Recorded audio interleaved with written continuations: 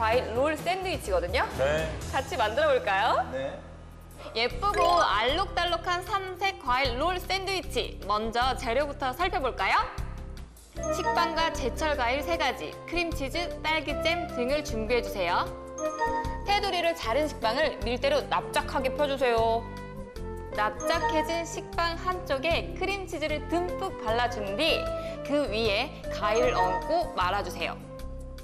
나머지 과일들도 마찬가지의 방법으로 준비해주세요.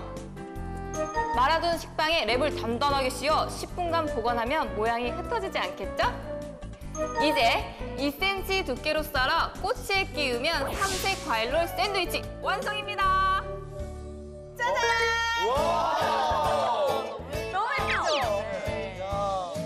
삼색 과일 롤 샌드위치. 샌드위치 빵이죠? 바나나, 체리.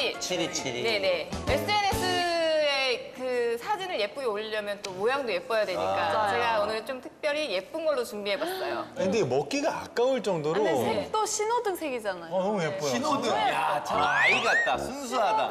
선생롤 샌드위치. 근데 아이들이 좋아하는 건다 넣어놨는데 그런 느낌. 조용필 씨가 이 들고 있는 모습 굉장히 귀여워요. 네. 지금. 아이 같아.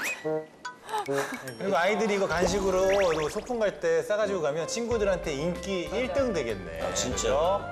자, 그럼 이제 한번 우리가 조금도 느껴지니까 네. 너무 더 좋아할 것 같아요. 맞아요. 어때요? 또 염을 먹듯이 먹고. 치즈 맛이 나나요? 난다. 난다? 맛이 어때?